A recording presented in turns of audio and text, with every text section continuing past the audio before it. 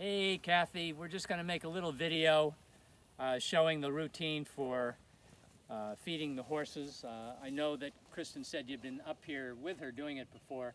This will just be a reminder of how we do it and uh, which horse is which. Uh, so I'll have the grain all bagged up in Ziploc baggies. All you have to do is dump it into the pans. Everybody gets the exact same stuff.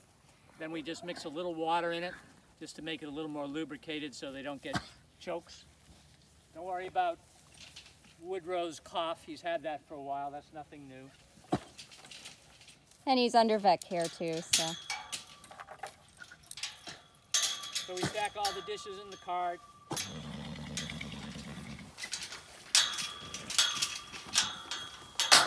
And then just wheel the cart out.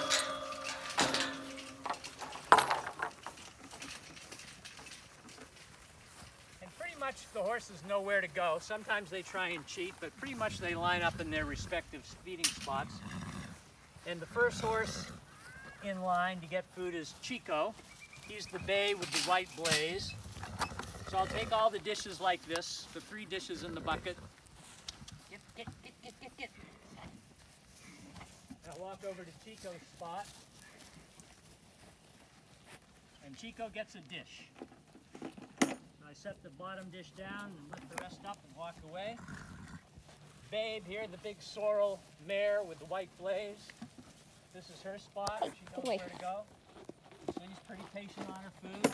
So I set the next dish down, lift them up. And then we walk over to the bay mare. That would be Magnolia, or Cupcake as we call her. And she doesn't have a spot of white on her. She doesn't have anything, she's just bay bay. Yeah. Last in line is Woodrow, the sorrel gelding with the white blaze and the two white slots in the back. His grain goes in the bucket and goes on the fence. Because he'll kick it over. and They'll just knock it over on the ground. And that's pretty much it. They're arrayed in a semicircle. I'll have Melanie go around the circle. Once again, we have Chico, then Babe, then Cupcake or Magnolia, and then Yeah. finally Woodrow.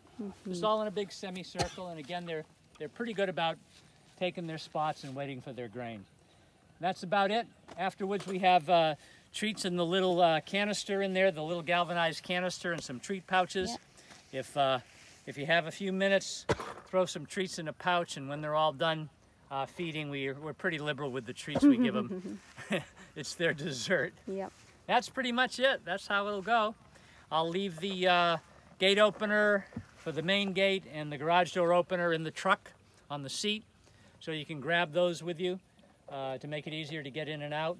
Otherwise, the main gate code is 1234 and the uh, uh, the garage code, actually that's not working. You'll have to use the button to get open and shut the garage. That's about it. Thank you for helping us. Thank you, Kathy. Bye-bye. Bye bye.